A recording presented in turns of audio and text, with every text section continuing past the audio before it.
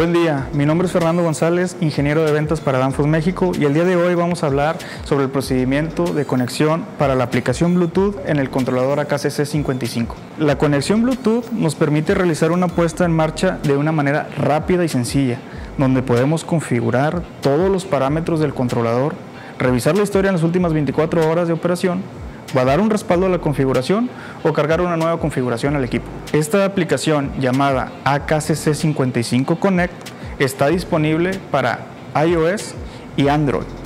Para conectarnos mediante la aplicación solo debemos seguir estos sencillos pasos, en el cual debemos iniciar presionando el botón Bluetooth en la pantalla del controlador.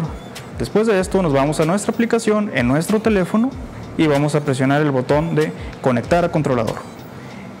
Enseguida, ya que estamos conectados, podemos ver las temperaturas, la presión, el recalentamiento y el grado de apertura de la válvula de expansión.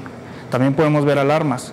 Para ver las alarmas solamente necesitamos ingresar al apartado en la aplicación donde podemos revisar alarmas presentes en el sistema y las alarmas que han sido corregidas podemos hacer un comisionamiento de nuestros relevadores a través de la sección de I.O. o entradas y salidas.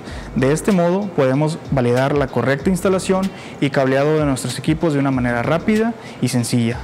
Para revisar la historia de la instalación ingresamos a la siguiente sección. En esta sección podemos ver el estado de la operación de las últimas 24 horas de nuestro controlador.